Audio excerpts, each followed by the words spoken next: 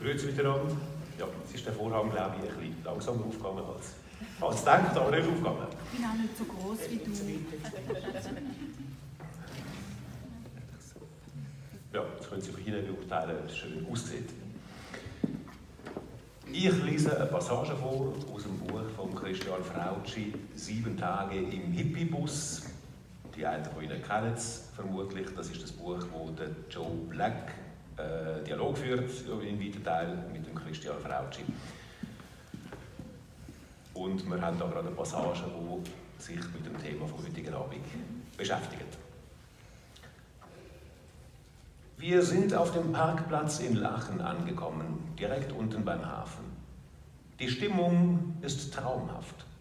Die Sonne steht über dem Zürichsee. Das Wasser im Hafen ist ganz still und glatt. Ein Dampfschiff legt gerade am Steg an.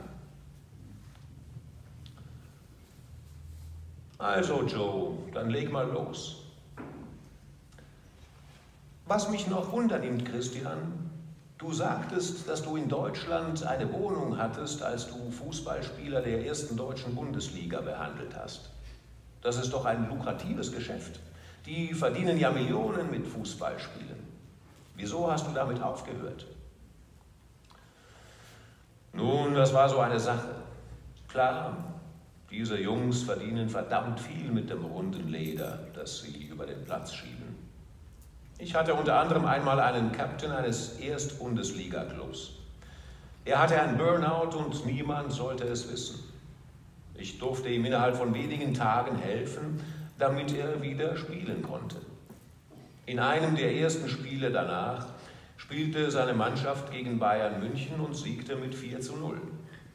Er kam dann etliche Male vorbei, er konnte seinen Vertrag verlängern und wurde später wegen seiner guten Leistungen sogar noch in eine andere Mannschaft geholt. Alle staunten darüber, dass er wieder so gut spielte. Ich sagte ihm, dass er noch daran arbeiten müsse, um wieder standfest zu sein. Und dann war es ihm wieder wichtiger, andere Dinge zu tun, statt zu mir zu kommen. Eine neue Waschmaschine für die Schwiegermutter war wichtiger als seine Karriere. Dann motzte er noch wegen meiner Rechnung obwohl der Betrag für ihn ein Pappenstiel war. Und ich war teilweise nur wegen ihm nach Baden-Baden gefahren. Ich sagte ihm von Anfang an, natürlich wird dich das jetzt etwas kosten, aber nach dem nächsten Transfer wirst du so viel mehr verdienen, dass du diese Summe mit dem Mehrverdienst vom ersten Monat locker bezahlen kannst. Und so war es dann auch. Aber es kam, wie es kommen musste. Er wollte seinen eigenen Weg gehen, ohne mich. Einige Monate später fing es bei ihm wieder an mit der Erschöpfung, da er noch zu wenig gefestigt war. Ja, schade, dass es so kommen musste. Ich sagte mir dann, wenn die Jungs meine Arbeit noch wollen, dann dürfen sie in die Schweiz kommen. Und ich löste in Deutschland alles auf. Dieser Spieler ging dann zu einem Sportpsychologen. Der schrieb ihn einfach krank und so war er weg vom Fenster. Heute spielt er irgendwo in der dritten Liga. Schade. Aber wenn das Sportler Tom Tom einen anderen Weg vorschlägt,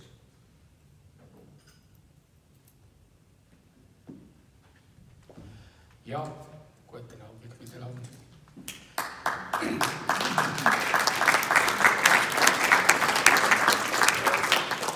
Schön, dass ihr da sind. Ja, das Thema ist ein riesiges Thema. Ich glaube, wir könnten eine Woche lang jeden Abend zwei, drei Stunden über das diskutieren. Äh, wir versuchen heute das Wichtigste daraus herauszupicken, das, was ihr vielleicht am meisten für euch, für euer Umfeld oder wer auch immer könnt mitnehmen könnt. Weil äh, es ist ein schwieriges Thema. Genau so, habe das gewählt aus dem Buch heraus ein Spitzensportler, der äh, krank ist, das geht ja nicht. Der hat seinen Lohn und der hat für das zu arbeiten und hat für das zu zickeln und eben das Leben vor sich her zu schieben oder was auch immer. Und er muss die Leistung bringen. Und es darf ja niemand, und das ist halt im Spitzensport extrem und wirklich voll krass teilweise, es darf ja nicht, ja nicht irgendwie an die Öffentlichkeit gehen, was mit dem Mensch los ist. Es wird nur geschrieben wieder, äh, wenn er absolute Spitze ist. Das war auch mit ihm so. Gewesen. Auf einmal haben wir wieder geschrieben, hey, was ist mit ihm los? Der ist wie umgewandelt, der ist wieder wie, wie ein Lausbub, der gerne Fußball spielt. Das ist genau das, was ich auch aus ihm rausholen wollte. Dass er wieder dort herkommt, dass es mit Freude, dass es mit Spass macht. Äh, ich bin jeweils dort in der Katakombe geguckt, oder wie man dem sagt, wo es nach dem Match sind, wo die ganze Mannschaft ist, die ganze Führung und so, in einem Stadion, wo irgendwie 60, 70'000 Zuschauer vorher das Spiel geschaut haben. Man hat wohl gewusst, irgendwie, das ist, glaube ich, der, der mit ihm irgendwie etwas macht. Es hat niemand gewusst, was, aber man hat das Resultat gesehen. Aber gleich, es war okay, gewesen, weil er seine Leistung gebracht hat. Und, aber alles andere, das hat und darf niemand interessieren, weil es wird sofort halt äh, breit geschlagen. Und äh, alles, was negativ ist, alles, was tragisch ist, äh, wird sofort publiziert. Und Fußball sowieso in Deutschland, das ist so ein riesen, grosser Faktor. Äh, das ist wahnsinnig, was dort läuft. Es war schon, er hat von sich selber halt eben auch schlussendlich wieder zu viel abverlangt, das Gefühl, es ist jetzt wieder gut. Jetzt gehen wir mit der Vollgas rein. Ich brauche jetzt dich nicht mehr. Und äh, ja, wie es der Marco gelesen hat, es war wirklich so, gewesen, nein, ich kann heute nicht kommen. Ich war zwar schon auf dem Weg nach Deutschland. Äh, ich kann jetzt heute nicht kommen, ich muss mit der Schwiegermutter eine neue Waschmaschine kaufen, dass ich dort dann auch gut dastehe. Ich habe sie jetzt ein paar Wochen ein bisschen vernachlässigt. Oder ich muss noch das, ich muss noch das. Und äh, äh, nein, ich kann jetzt nicht kommen, weil äh, äh die Frau hat frei und äh, dann tun wir den Tag miteinander verbringen. Und, und, und, das ist alles einfach wichtiger gewesen. Und das ist das, was sehr, sehr ein grosses Thema ist.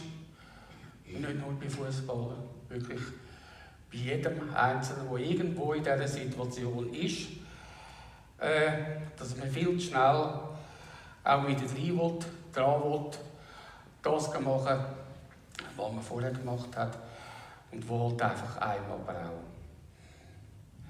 ich sage jetzt krank, erschöpft oder was auch immer, gebracht hat. Ja, es ist ein grosses Thema. Nicht nur für Spitzensportler, darunter sind auch Hausfrauen. Es sind auch Schüler. Es ist bedenklich, wie viele Jugendliche das ich kann, die ja, schlichtweg erschöpft sind. Sie wollen zu viel Leistung bringen, sie werden von sich selber äh, getrieben, sie werden von den Eltern getrieben äh, und äh, aus den Erwartungen heraus getrieben, die sie sonst auch möchten. Und aus diesem Grund heraus ist wirklich querbeet, querbeet, jeder Einzelne muss irgendwo kann treffen, egal aus welcher Schicht, egal aus welchem Einkommen, egal aus, aus dem Berufsalltag oder aus dem privaten Alltag raus. Äh, es kann schlichtweg überall der Fall sein. Und ich glaube, wenn ihr schon ein bisschen rumgelost habt oder immer wieder gehört oder denkt, um, er hat das Burnout, dann ist das immer so eine Sache. Man denkt, mhm, okay, es ist Mode, es ist Trend. Und die einen belächeln es, die anderen sind hilflos, was ich irgendwo auch verstehe, weil es ist keine Situation, kein Mensch gleich wie der andere. Ja, wir werden äh, verschiedene Aspekte von dem Burnout jetzt anschauen. Jetzt kommen natürlich zu dir Leute, meistens erst dann, wenn es so weit fortgeschritten ist. Aber man muss natürlich sagen, Burnout fängt leislich an und unsichtbar. Was sind für dich Zeichen oder an was erkennst du Burnout, wenn jemand bei dir angekommen ist? Es sind nicht nur Leute, die zu spät kommen oder die zuerst kommen, wenn sie drin sind. Wir haben viele Klienten, wo ich das feststelle, wo ich es erkenne. Und sie eigentlich nichts wissen davon. Ich habe gerade erst äh, einen Fall von einer jungen Frau, sehr aktiv, erfolgreich, geschäftlich erfolgreich, äh, immer gemacht und da, fit wie ein Turnschuh und wirklich äh, immer voll drauf und zack und und und und und. Und es hat sie eigentlich, sage jetzt mal so, es hat sie eigentlich zusammengehauen aus Liebeskummer wegen der Trennung. Mit dem Frust dahinter, ich laufe immer an die falschen Männer her äh, und weiss nicht was und überhaupt nicht sowieso, was soll denn das? Äh, ja. Und äh, das war eigentlich ihr Grund, warum sie gekommen ist. Aber ich habe natürlich sofort gemerkt, hey, die liebe Frau, die ist generell völlig am Anschlag. Wirklich sowas von am Arsch und rafft sich einfach auf für ihren äh, geschäftlichen Alltag als Unternehmerin. Äh, und kaum ist sie daheim, kriegt alles zusammen. Bis am nächsten Morgen Vollgas wieder. Und, äh, sind das ja auch Anzeichen, die auch auf eine Depression hindeuten. Und da ist auch eine Schwierigkeit, das voneinander zu unterscheiden. Die Frage ist, was ist eine Depression? Äh, Depression hat verschiedene, verschiedene äh, Seiten, auch genau da. Sicher ist es Burnout in dem Sinn, ist es äh, eine Depression, das ist klar. Aber Depression heisst schlussendlich, es ist nichts anderes als es sind Ängste sind schlichtweg einfach nur Ängste. Und die Ängste treiben einen, lenken sie weiter. Sie treiben auf einer Seite einen zum, zum Leistung bringen, zum äh, möglichst viel leisten. Sei das im Geschäft, zum gute Zahlen bringen, zum, zum äh, möglichst viel Umsatz regenerieren möglichst am Chef fallen und das und dies und jenes, äh, die dann die Leistung dort bringen. Oder sagt das eine, eine Mutter wo ein Mann, der zu Abend heimkommt und beistreckt und das Geld heimbringt. Und teilweise dann vielleicht halt eben auch noch ein so denkt, äh, muss ich sagen, ja gut, das ist mein Job, ich muss für Kinder schauen, ich muss äh, fürs da sein. Muss die Kinder versorgen, schauen, dass sie in die Schule kommen. Und äh, etwas Feines zum Mittag bekommen, wenn möglich. Und äh, dasselbe mit dem Mann, wenn er zu Abend heimkommt. Und durch das halt einfach, äh, ja, nicht nur einfach einen 8 5, 8 to 5 Job haben, sondern ja, morgen um 6 Uhr. Äh, Vielleicht fällt es schon an, dass man einmal den Kaffee ans Bett bringt. Oder was auch immer. Nein, es ist egal. Es ist einfach, es ist irgendwann vom Morgen um 6 Uhr weg bis zum Abend um 9 Uhr, 10 Uhr, wenn die Kinder im Bett sind, bis die Kinder im Bett sind. Äh, nonstop. Die einen können das besser, die anderen können es weniger gut. Das ist vielleicht genau der Punkt. So, solche Situationen kennen wir ja wahrscheinlich fast alle, oder? Das Leben ist manchmal anspruchsvoll. Und jetzt gibt die einen, die, die, die schaffen das und die anderen äh, haben irgendein Burnout. Kann man, gar nicht bösartig gemeint, denen vielleicht sagen, sie gehen falsch mit etwas um, machen sie etwas falsch? Es hat, es hat verschiedene Gründe. Die, auf einer Seite ist es, dass halt einfach vielleicht sich, von sich selber zu viel abverlangt. Nach dem Motto, das hat meine Mutter auch so gemacht. Jetzt denke ich jetzt mal die Hausfrau. Das hat meine Mutter auch so gemacht. Und äh, das ist völlig normal, das ist so. Der Mann bringt das Geld ein, die Frau schafft. Äh, die Frau schafft die Heim. Obwohl es heute so ist, dass ja normale, normalen Arbeiter in dem Sinne eine Frau auch nicht mehr einfach an die hocken dass sie muss mitverdienen weil einfach das Leben sonst so viel kostet. Und äh, dass es halt einfach generell ein, höherer Anspruch ist. Und wenn wir jetzt in den geschäftlichen Bereich hineingehen, dort ist es einfach sehr oft so, dass die Leute, sie machen einen Job, sie führen etwas ausführen, was sie einmal gelernt haben, was sie vielleicht studiert haben oder eine Ausbildung gemacht haben oder was auch immer.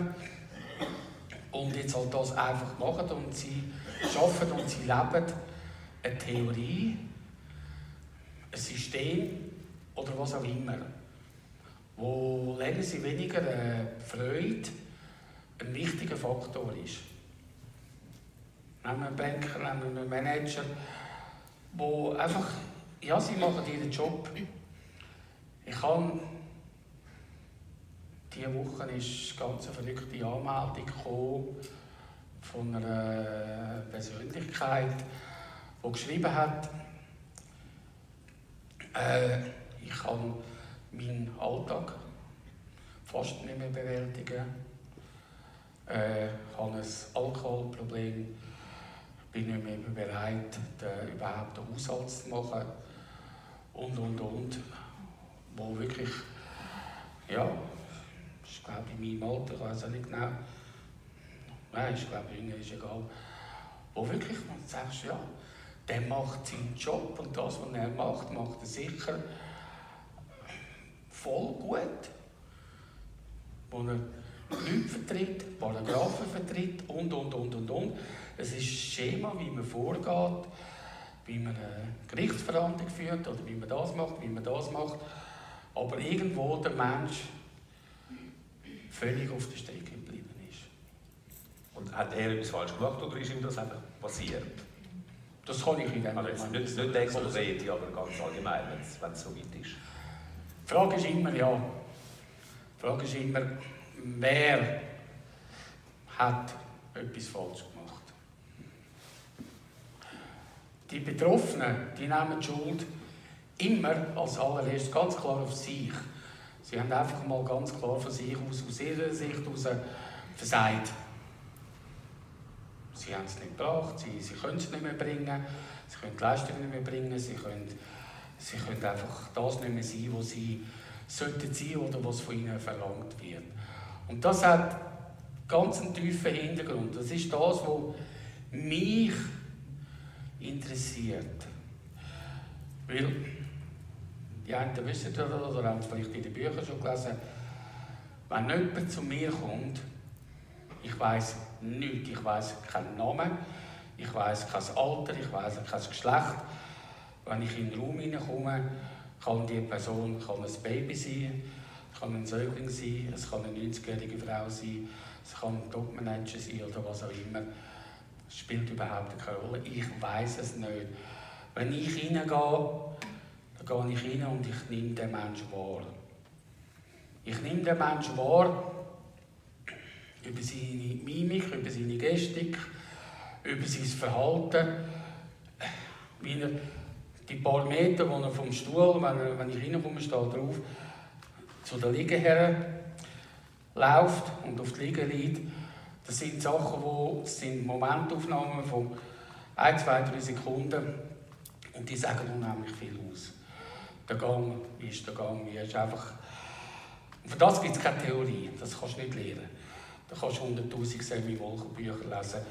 Du kannst vielleicht schauen, wie der Mensch da jetzt laufen kommt, aber du siehst nicht drin rein. Und das ist einfach das Problem. Was ist da dahinter? Das ist das, was mich unternimmt. Mich interessiert nicht, warum ist jemand da. Eben, sage jetzt das bei dieser Frau, weil sie Liebeskummer hat. Es ist ihre Definition, wieso dass sie zu mir gekommen ist. Aber bei mir ist es viel wichtiger, wie sieht es in den Menschen aus. was läuft mit dem Menschen ab und was, was ist die Ursache. Und das ist das, was mich interessiert. Und die Ursache, und jetzt kommen wir wieder darauf zurück, wo du die Frage gestellt hast, wer ist die Schuld? Die Ursache von so etwas liegt zu 90 Prozent in der Ahnentafel.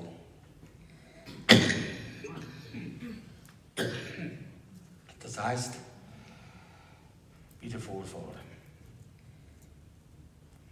Ohne, dass man eine Schuldzuweisung macht. Sondern es hat damit zu tun, was ist an dem Mensch, was ist dieser Seele vorgelebt worden in der Kindheit. Sind die Eltern, sind die Eltern viel unterwegs gewesen? Ist der Vater im Unternehmen gewesen? Hat keine Zeit für Kind? Ist heimgekommen? Hat einfach nur gute Zeugnisse wählen? Oder ist äh, ein älterer Teil zum Beispiel früher verstorben? Ist auch teilweise ein Faktor.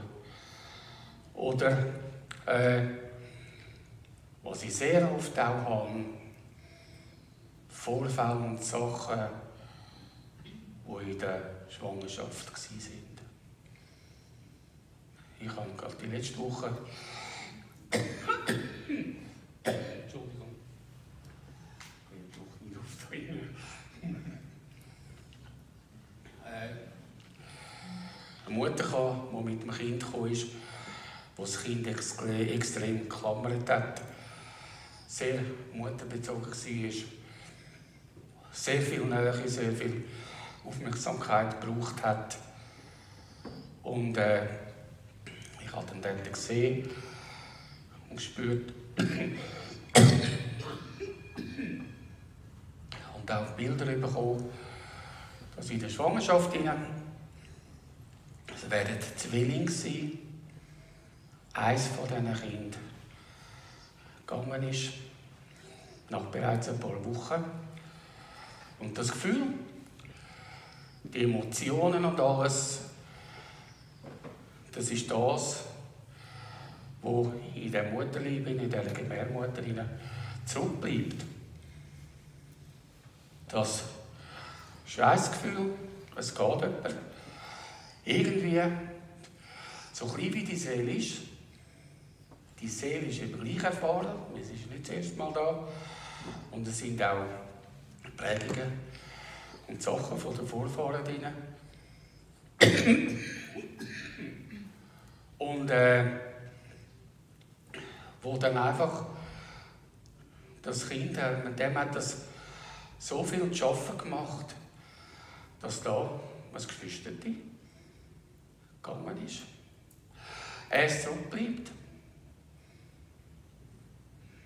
Was in dem Fall bedeutet, also die Schuldfrage ist eh blöd, oder? Es, es geht gar nicht um Schuld oder nicht um Schuld, aber man kommt etwas mit über, wo man dann trotzdem muss damit können umgehen. Umgehen, das ist richtig, ja. Das hat vielleicht in der Schule ist die Mutter noch da. Oder Kollegen über den Mittag und und und. Und dann haben wir ein bisschen, können, wie soll ich sagen, auch das soziale Umfeld gibt, da ist man beschäftigt. Und dann geht es weiter, dann kommt man in die Stiftung. Da ist man schon mal ein bisschen abgekapselt. Dann kommt man in die Berufswelt. Und dann hast du ja das Gefühl, du willst ja dann kompensieren. Du kompensierst das Gefühl und das passiert, das klingt einem am besten, wenn man Leistung bringt, wenn man beliebt ist, ob man einfach immer den Lohn macht oder ob einfach jemand ein Streben ist oder was auch immer. Und durch das die Aufmerksamkeit überkommt und ich sage jetzt einmal, durch Leistung, durch sein Tun, durch sein Handeln, Liebe, Nähe kann kompensieren die vielleicht im Elternhaus nicht da war. Weil vielleicht einfach die Eltern nicht mehr geschafft haben. Und weil das einfach gefehlt hat. Oder weil halt einfach später im Leben irgendwo das halt einfach gefehlt hat. Und dann will man das kompensieren. Und das kann man halt einfach am einfachsten kompensieren mit Handeln, mit Tun, mit Leistung. Und so kommt man Aufmerksamkeit über. Also, ja, wie der Ausdruck sagt, Fishing for Compliments. Äh, und das ist sehr, sehr gefährlich. Aber der, der Ursprung hat sehr oft wirklich da im Familiengefilde zu tun. Und dort ist es natürlich, wie gesagt, unheimlich komplex. Sechs, wie ein älterer Teil gestorben ist, weil ein älterer Teil nicht rum ist, oder weil es eine Scheidung ist, oder was auch immer. Und irgendwo einfach ein Manko da ist. Das heißt, etwas, was wir auch probiert haben, zu überkompensieren. Ja. Und daraus entsteht das sehr oft. Ich sehe das sehr oft bei, bei, äh, bei Kindern, die in der zweiten, dritten Generation in der Schweiz sind, wo die Eltern vielleicht noch als Fremdarbeiter, als Italiener, aus Jugoslawien oder wer immer, in die Schweiz gekommen sind und die Eltern da saisonier sind. Oder vielleicht zuerst einmal der Vater und dann können die Familie nachkommen. Und sie einfach hier geschafft haben, wenn sie gut sind. Wenn sie Arbeit haben, wenn sie gut sind, haben sie können bleiben und sonst haben sie heim müssen. Und dann sind sie mal da in der Schweiz und dann können bleiben. Dann kommen wir hier in der Schweiz aufwachsen. Und dann kommt man in die Schule. Und dann heisst es teilweise von den Eltern aus. Oder wie halt eben immer, vielleicht am Mittagstisch, diskutiert worden bist. Aber gibst du nicht in der Schule, dass aus dir mal etwas wird? Aus dem Hintergrund. Nicht, dass dann, wie wir immer Angst haben, dass du heim musst. Das ist ein, das ist, das ist ein, auch wenn das vielleicht nicht unbedingt ausgesprochen ist, das ist drin. Das lebt man einem vor. Man muss schauen, man muss sparen, man muss schauen, man kann nicht einfach, man kann nicht einfach und weiss nicht was alles. Und gibst dir Mühe und dann schaust, dass du äh, nicht nur in die Real kommst, oder wie das auch heute immer heisst, schaust, dass du in die Zeck kommst und über die Leistung. Dann sind sie vielleicht noch gut und sie nehmen sich Mühe, geben sich Mühe, können eine Kante oder das und dies und jenes. Und dann geben sie sich aus dem Antrieb heraus Druck. Und gehen über ihre Verhältnisse. Weil sie einfach nicht nur ein Viererhalber wollen im Zeugnis, sie wollen dann einen Fünfhalben. Aus eigenem Antrieb teilweise. Und du glaubst nicht, wie viele Jugendliche, auch wie viele Studenten, das ich mittlerweile habe, die so am Arsch sind, weil sie sich einfach selber der Tour dorthin geheißelt. Von sich aus. Aus ihrem Antrieb aus. Okay, aber eben, was heisst jetzt wieder, jetzt hast du ja gerade natürlich die Generationengeschichte erzählt, das heisst, die, die kommen das halt vielleicht irgendwo mit über. Du kommst das auf der Gefühlsebene mit. Du kommst das mit auf der Gefühlsebene. Und das ist dann die Sache, die ich, wenn ich mit diesen Menschen arbeite, ich spüre das und ich sehe das, ich komme ja dann Bilder über deine Situationen und, und, und. Und jetzt ist, du hast vorhin den, den Fall da, das ist auch erwähnt ist im Buch, der, der äh, Fußballer. Fußballer. Bei diesen ganzen Spitzensportlern spielt das ja wahrscheinlich auch mit. Ein Stück weit. Also die werden ja auch irgendwann etwas beweisen. Sich selber oder das ist, das ist ganz klar. Ich meine, sie gehen vielleicht aus Talent raus. Also ich meine, der Fußballer, der hat wirklich der hat riesig Freude gehabt, der hat riesig Spass gehabt am Fußballspielen. Der hat gesagt, ich bin dort zurück mit ihm, habe diskutiert mit ihm und gesagt, hey, wo hat es bei dir angefangen? Er hat gesagt, weißt, ich habe mit den Kollegen auf dem Dutyplatz hinter dem Haus Bundesliga gespielt. Und ist einfach so mit Freude, mit Spaß in das Ganze hineingekommen. Schlussendlich ist er halt einfach länger besser geworden. Aus Freude, aus Spaß und hat das einfach wirklich angefangen zu leben. Ist Captain geworden, ist eine tragende Kraft in der Mannschaft, hat für alle geschaut und und und. Und dann ist es aber halt einfach schlichtweg zu viel geworden. Eben, er hat für seine Frau schauen. Sein Vater hat ein bisschen Misswirtschaft betrieben. Der hat ihn finanziert. Das waren zwei, drei Mil im Monat, die er dort noch abgeliefert hat. Äh, nach dem Motto, ja, mir geht so jetzt gut, ich kann dir auch ein bisschen helfen. Bin mir dort geschieden, der Vater müsste das Leben selber in die Hand nehmen und halt ein bisschen kleinere Bötchen backen oder was auch immer. Und es ist, so, es ist ein Teufelskreis gewesen, oder? Ich mag mich noch ganz gut erinnern, als ich mich das erste Mal mit ihm getroffen habe. Dann hat mein Handy geläutet. Hä? Dann sagt ja, bist du jetzt dann gerade da? Ich sagte, ja, ich bin jetzt da gerade. Was möchtest du trinken? Ich bestelle dir zu trinken. Er ist schon im Restaurant gekocht. Dann habe ich gesagt, hä? Ja, willst du einen Kaffee, willst du ein Gocki? Ich gesagt, spinnst du? Und das war genau das. Gewesen. Er hat es allen recht machen, vor allem säckeln schauen und machen. Und genau an dem ist er zerbrochen. Er hat gesagt, hey, das kann es nicht sein. Ich bin für mich selber verantwortlich, was ich trinken will, was ich bestellen will.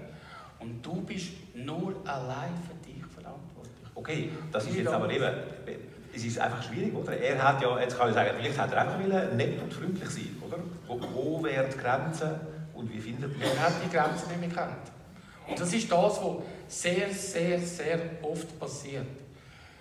Jemand, der in dieser Situation ist, kennt seine Grenzen nicht mehr dann bist du nur noch am Funktionieren. Das ist genau das, was das Thema ist jetzt Abend, Turbo im Kopf. Du rotierst nur noch, du funktionierst nur noch, du drillst nur noch im Hamsterrad rein und du bist einfach im Tun. Das ist jetzt so der Begriff, den du dem Abend gegeben hast, Turbo im Kopf. Was, was passiert? Wie viel weißt du über das? Was, was passiert im Kopf? Du kannst schlichtweg nicht mehr abschalten. Es drillt einfach nur noch. Oh, jetzt muss ich das und oh, morgen muss ich dann schauen, dann muss ich noch auf das schauen. Oh, und dann muss ich auch noch anrufen. Und ah, warte, ich muss schnell aufstehen mal und ich schreibe mir das schnell auf. Oder respektive, ich muss nicht einmal aufschreiben, das Handy liegt eh neben dem Bett zu. Ich mache mir noch schnell eine Notiz. Ja, ich könnte noch schnell, äh, äh, schreibe das SMS gerade schnell, sonst vergiss es dann wieder und und und. Und irgendwie, du bist so du bist so am Trüllen.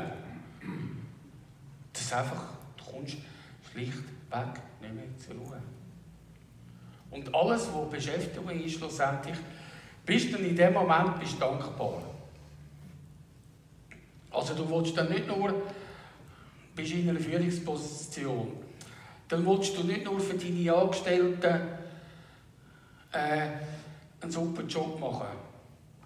Du willst für die Firmenanlass, den man hat, für das Wochenende, das man hat, wo man wirklich ein aufgeiles Programm auf die Beine stellen, dass die Jungen beschäftigt sind, dass sie haben, dass sie Freude haben und mitmachen und weiss nicht was.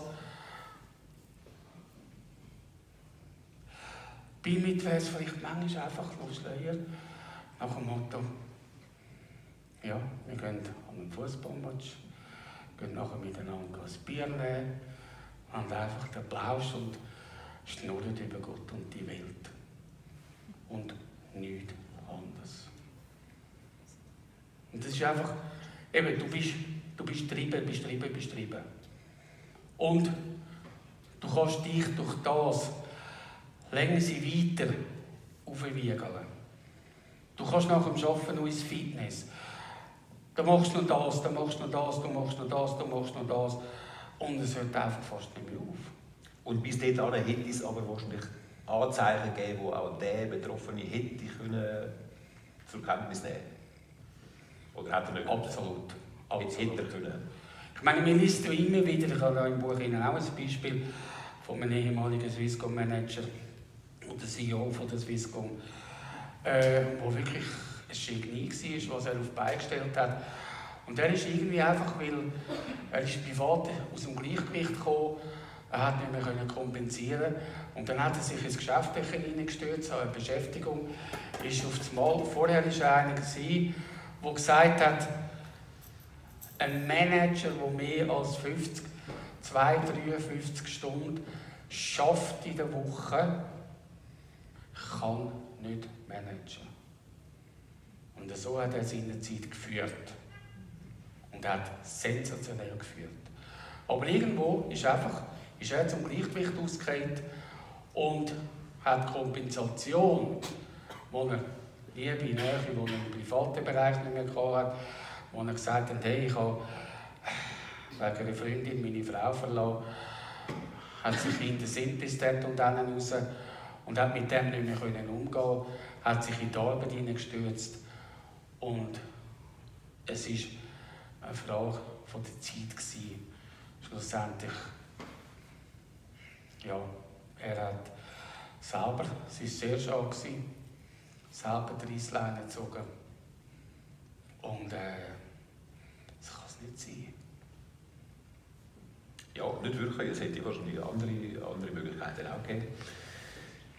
Wie, wie groß ist das Problem, über das wir hier reden, eigentlich auch so zahlenmäßig? Hast du Zahlen von Betroffenen, jetzt vielleicht einmal bei, bei deinen Klienten, prozentual? Wie häufig kommt das ungefähr vor? Erstens einmal legen sie häufiger. Es ist echt schlimm, was ich gesehen habe, was nur alleine in den letzten, in den letzten paar Wochen, Monaten gelaufen ist, wenn ich die Anmeldungen sehe oder respektive wenn Maggie die Anmeldungen zeigt und fragt, was meinst du? Es ist, es ist echt teilweise haarsträubend. Es ist irgendwie, weißt du, die einen schreiben dann, ja, ich verspanne mich, Zähne knirschen und, und, und. Oder ich kann nicht mehr abschalten. Oder ich bin in der Ausbildung, ich kann nicht mehr lehren und weiss nicht was alles. Und dann kommen sie und dann merkst du, sie sind einfach, sie sind voll drin. Sie sind schlichtweg voll drin. Und äh, zahlenmässig, ich weiß es nicht, ich kann es nicht sagen, weil wir machen keine Statistik, auf keine Art und Weise, weil für mich steht der Mensch im Vordergrund. Wenn der rausläuft, weiß ich nicht mehr von dem Mensch, von dieser Seele. Weiß vorher nichts und was genau in dieser Zeit passiert, wenn er bei mir ist, wenn ich mit ihm arbeiten darf, das ist für mich maßgebend und alles andere, alles andere interessiert mich nicht. Aber der Anteil ist, legen sie grösser. Und in der Regel ist es so, und das ist ja das, was sich extrem gehäuft hat, dass es äh, Männer sind, die einfach am Morgen möglichst früh gekommen sind, die geschrieben haben, ich möchte möglichst den, den ersten Termin, äh, ja, wo geschalt gekommen sind und nachher äh, die Schuhe angelegt haben, gezahlt haben und sind weiterarbeiten, dass möglichst niemand etwas merkt. Und solche, solche Sachen, äh, die haben sich extrem gehäuft. Jetzt sind die Beispiele, die du gebracht hast, mehrheitlich Männer gewesen. Heißt das auch, es ist mehrheitlich ein Männerproblem, das Burnout? Dort wird es eher so genannt, aber äh, wir haben das bei den Frauen genau gleich wie bei den Männern. Es macht keinen Sicher ist es so, dass wir äh, vom Klientel her äh, natürlich halt einfach viel mehr Frauen haben, also viel mehr. Früher war es so, gewesen, dass man von zehn Klienten einen Mann hat. Heute ist es so, dass man von zehn Klienten drei bis vier Männer hat. Also es ist ganz gewaltig viel gelaufen, dass man halt scheinbar auch sich dafür hat, äh, als Mann zu kommen und nicht nur das Gefühl hat, hat ja letztes Mal einer gesagt, ja, du bist ja, bist ja okay für dich, dass du der Hausfrau kannst Geld zum Sack ausziehen Der glaubt ja, der Scheissdreck, den du da auf YouTube erzählst und so, ist okay, das darf seine Meinung sein, aber wir haben wirklich länger sie mehr Männer, die kommen. Und dort ist es natürlich verhältnismäßig äh, halt eben mehr das Thema. Das ist ganz klar. Aber äh, im Gesamten, es zeigt sich einfach anders, man kommt, man kommt mit anderen Problemen, mit anderen Anliegen, die sich halt vielleicht ein bisschen anders zeigt. Aber äh, die Thematik ist, ist die gleiche dahinter. Also ich meine, wenn man gestresste Männer die hat, dann hat man schlussendlich auch zu 60, 70 Prozent auch schlussendlich eine gestresste Frau die weil es halt dann eben auch nicht einfach ist und weil man dann vielleicht auch erst recht will, das Beste machen für die Beteiligten. Es ist vielleicht ein bisschen anders gelagert, aber äh, es ist genau gleich. Jetzt bist du selber ja auch ein umtriebiger Mensch, du warst früher Unternehmer. Gewesen. Hast du eigene Burnout-Erfahrungen? Ja. Einfach dann, dann, wo ich es übertrieben habe. Ich meine, ich bin seit 23 Unternehmer und ich kann, ja, ich, ich kann Vollgas geben. Ich kann Vollgas geben, aber aus Freude und aus Spass.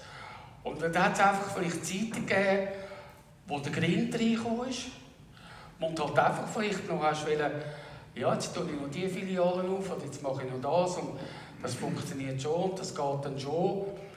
Und was dann halt einfach ja, mit Aufwand, mit Arbeit verbunden war, wo du einfach hast müssen machen und äh, ja, bei mir war es immer so, gewesen, dass es das erste mein liebes Organ da, meine Bronchien, meine, meine Lunge war, die sich gemeldet hat.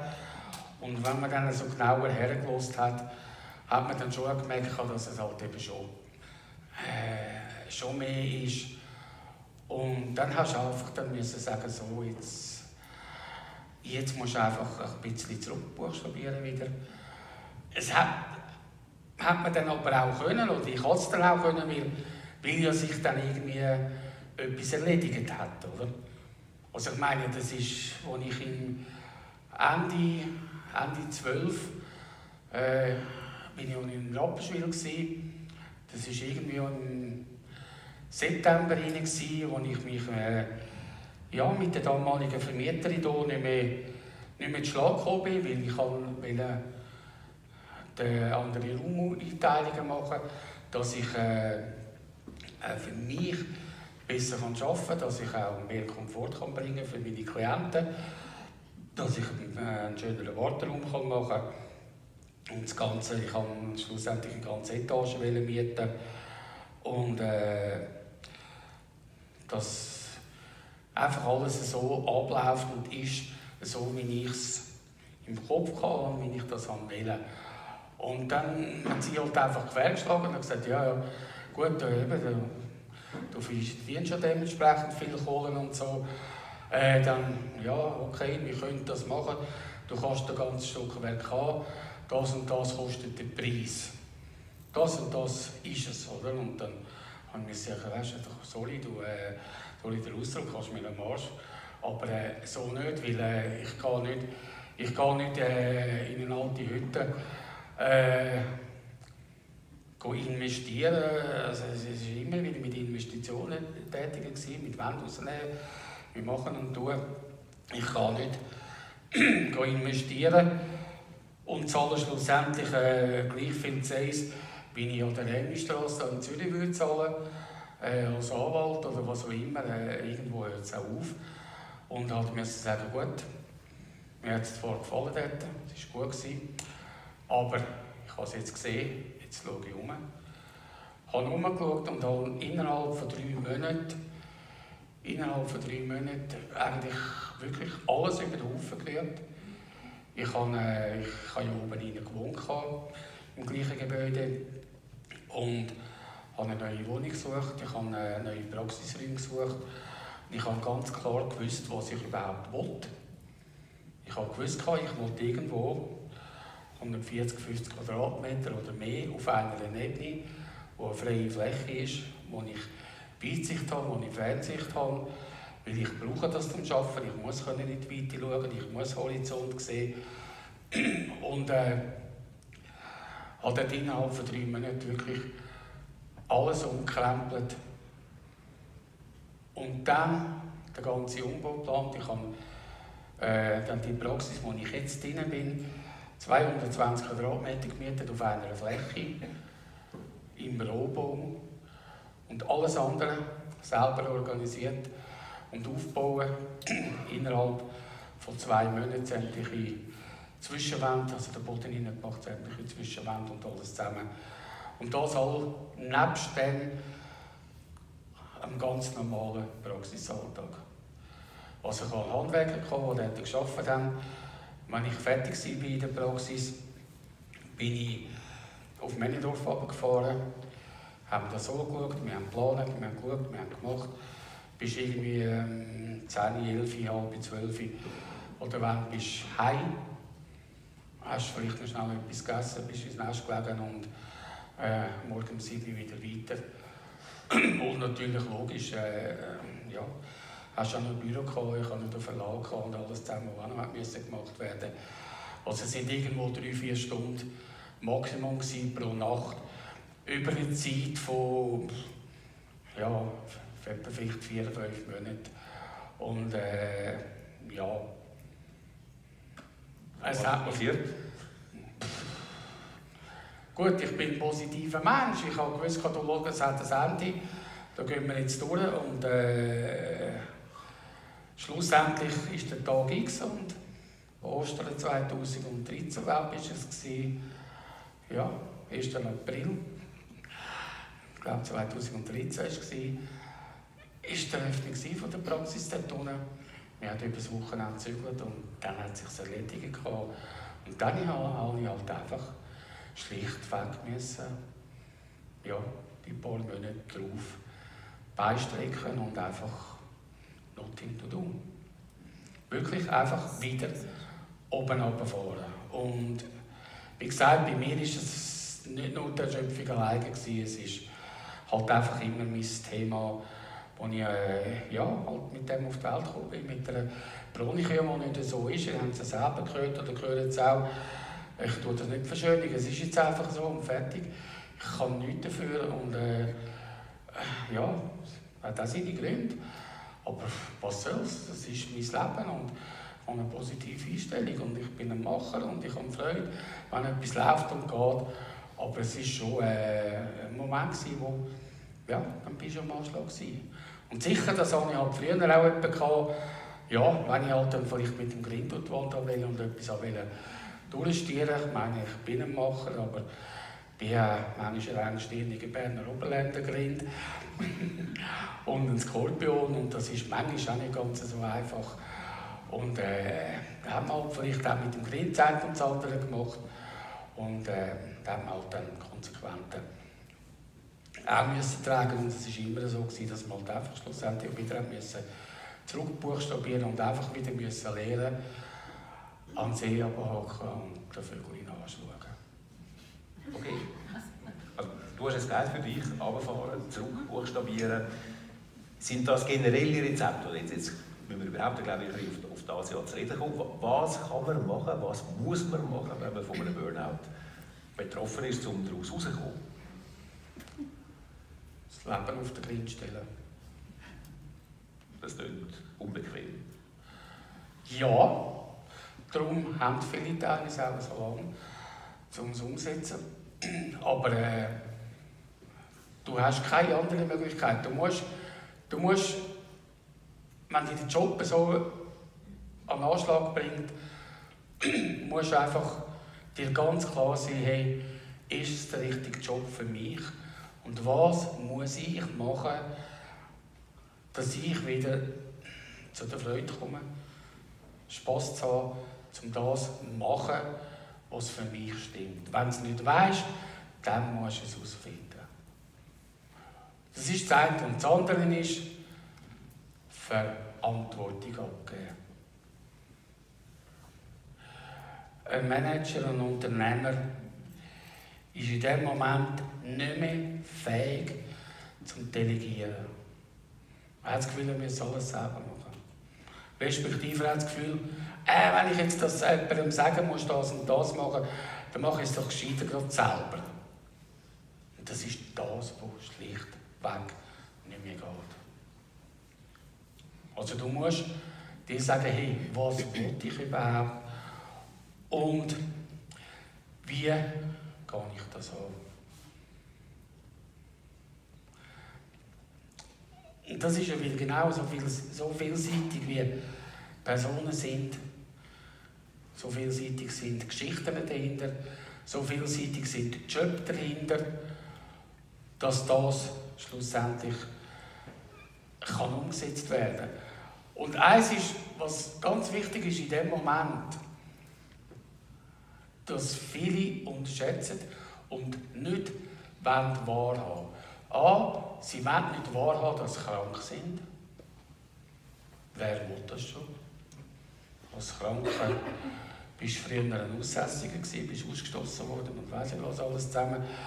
Das ist schwirrt heute noch in den Köpfen. Aber wenn du einfach mal herstehst und sagst, hey, es geht jetzt einfach nicht mehr, ich kann nicht mehr, dann musst du dazu stehen. Ich sage immer, wenn du eine Krankheit nicht in dein Gärtchen hineinlässt und akzeptierst und sagst, ich weiss, du bist jetzt da, du bist ins Gartentür eingekommen und du stehst vor mir. Ich muss dich nicht lieben, aber ich glaube, jetzt kann ich nicht anders als dich annehmen und jetzt schauen wir, was wir machen können, dass du wieder zu meinem Gärtchen rauskommst und dass ich nicht mehr an diesen Punkt herkomme. Das ist Ganz, ganz wichtig.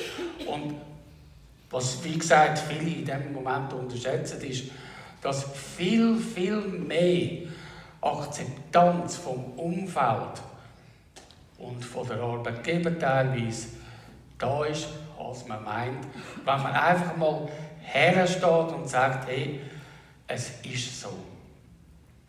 Nicht herstehen und sagen, du, ich habe eine Grippe, ich komme jetzt ein paar Wochen nicht mehr zum Arzt geht und sagt, hey, gib mir ein Medikament, das ich in die Nuss reinrühren kann, dass es wieder funktionieren kann. Das ist es nicht. Das ist nicht die Lösung. Das ist das, was sehr oft gemacht wird. Leider wird sehr oft gemacht. Aber das ist nicht die Lösung. Wirklich hergehen und sagen, hey, los, weißt du was, ich weiß nicht, wann ich wieder komme. Ich brauche jetzt verdammt nochmal Zeit für mich.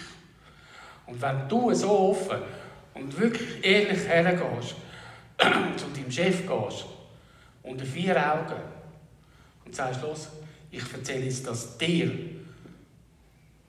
Das ist eine Sache unter uns, die teilweise verdammt viel Stolz braucht von jemandem, der so vor seinem Chef hersteht, oder wer immer. Das ist ein riesen, riesen, riesengroßes Unterfangen. Das musst du einfach. Und wenn du das schaffst, dann hast du einen Anfang gemacht. Weil ich sage immer, hey, wenn du selber die Arsch nicht bewegst und mutig bist, dann sind die da oben, wir wissen, dass da viel, viel mehr rum ist. Das wissen viele da innen auch. Und man es manchmal wahrhaben oder nicht, aber die kommen erst, wenn du deinen Arsch bewegst. Und deinen Arsch bewegen heisst auch manchmal einfach, hey, stand her, stand dazu. Hey, ich hatte die letzte Woche gerade jemanden gehabt, der gesagt hat, hey, aber weißt du, eigentlich am liebsten würde ich mich jetzt früh passionieren lassen. Aber ich kann mir das nicht leisten. Ja, was ist denn, wenn ich in zwei, drei Jahren krank werde? Oder das ist, oder das ist. Dann habe ich gesagt, verdammt nochmal, spinnst eigentlich? Das hat doch nichts mit dem zu tun. Jetzt geht es doch einfach darum, dass du herstehst. Wenn dir dein Job nicht mehr stimmt, dann musst du künden, dann musst du ziehen. Wenn das Umfeld ist, egal ob der Chef oder wer immer, für dich nicht mehr stimmt, dann musst du künden. Du musst nicht denken, was mache ich dann und was mache ich dann, was mache ich dann, was mache ich dann. Sondern dann musst du es einfach durchziehen. Und dann kommt auf das Mal vielleicht irgendwo, ein paar Monate später, von einer ganz anderen Seite, ein völlig neues Türchen, das aufgeht, wo man sich nicht würde denken Das mit der Türle ist ja das schöne Bild, wo ich auch viele Geschichten höre, dass es wirklich so ist. Aber natürlich braucht es Mut, oder? Muss man glaube ich einfach erkennen, es braucht den Mut, mal eine Tür zuzuschauen und dann äh, zuzutun und dann schauen, was passiert. Ja, es braucht Mut, sicher. Und der Person, die ich das letzte Woche gesagt habe, sie hat dann, wir haben geschafft mit und sie hat wirklich sehr schöne Fortschritte gemacht. Es ist wirklich echt, du hast wieder einen Mensch vor dir gesehen. Und dann auf einmal hat sie da oben, oh, jetzt laufen dann meine zwei Monate ab, wo ich krank geschrieben bin. Oh, ich muss am 1. Dezember wieder arbeiten. Und dann ist sie genau wieder in den Stress hineingekommen. Dann hat der Darm angefangen zu spinnen. Blasenentzündung und das und das und jenes. Und dann voll wieder in die Müll hin und da habe gesagt, hey, liebe Frau, stand jetzt verdammt nochmal her zu deiner Situation, wo du bist. Du musst nicht jetzt künden, wenn du krank bist. Künd, wenn es wieder okay ist oder wenn es keine andere Möglichkeit mehr gibt oder was auch immer. Oder dann lass du künden. Aber jetzt den Kopf darüber zu brechen, nur einfach zum nicht müssen herstehen, dass ich krank bin. Und von sich aus künden in dem Stadion, wo man krank ist, wo man Anspruch hat, wir zahlen ja ein. Wir zahlen ganz viel, ganz viele Versicherungen und man muss denken, jetzt wieder die Rechnungen bekommen äh, für uns drei Leute, die angestellt sind in der Praxis vom nächsten Jahr und ja, du zahlst dafür.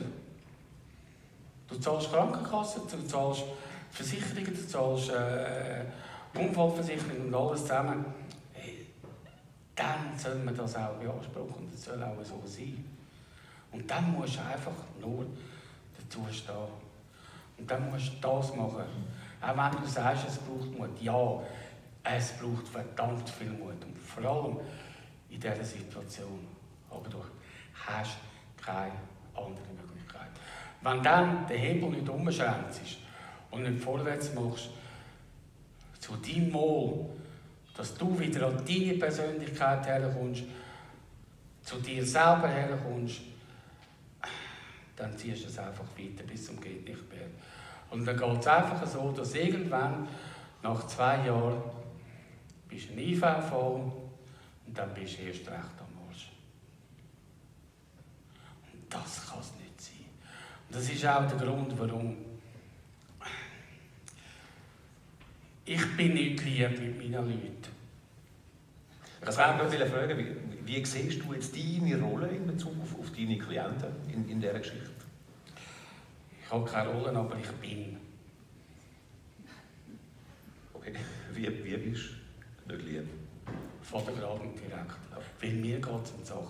Wenn jemand zu mir kommt, egal um was es geht, es hat Leute die das erfahren haben von mir, von mir, wo ich einfach nur unverblümt und Vatergrad gesagt habe, hey, so und so und keine andere Möglichkeit, kein Links und kein Rechts mehr und nichts mehr. Ich muss, ich bin verpflichtet, aus meinem Selbst heraus, wenn ich von da oben Signal bekomme und ich weiß, das und das ist der Weg für diese Person und ich muss das sagen, dann muss ich herstehen und muss die Schnurren auftun. Okay, das musst du, jetzt bist ja du der, der mit seinen Klienten möglichst wenig redet, aber das heißt, in, in so einem Fall tust du es. Ich rede über das, was ich schaffe, das, was ich tue. Über das rede ich nicht, weil das kannst du nicht erklären. Das ist verdammt schwierig.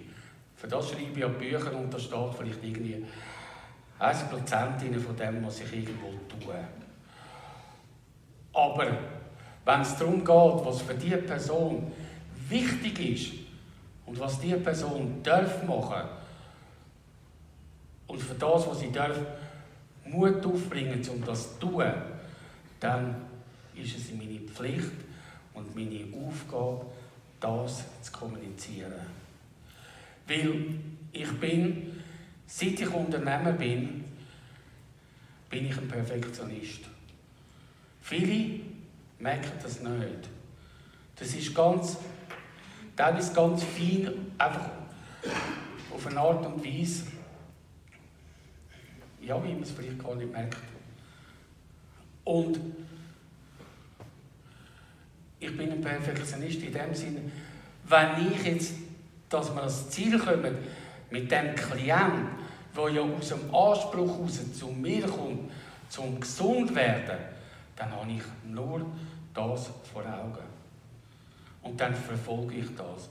Ich nehme teilweise meine Klienten ernster, als sie sich selber nehmen. Ich habe die letzte Woche jemanden zu der Praxis ausgeschossen und gesagt, weißt du was, du bist zweimal zu spät gekommen und es geht dir am Arsch vorbei. Ich gesagt, weißt du was, du kommst nicht wegen mir zu spät. Du bist am Arsch. Und du hast die und die Krankheit. Du kommst wegen dir. Und das willst du nicht einsehen. Du checkst das nicht. Also dann ist meine Zeit überflüssig, dass ich mit dir arbeiten will. Du hast mit dir nicht so umzugehen. Wenn du das willst, dann mach du, was du willst.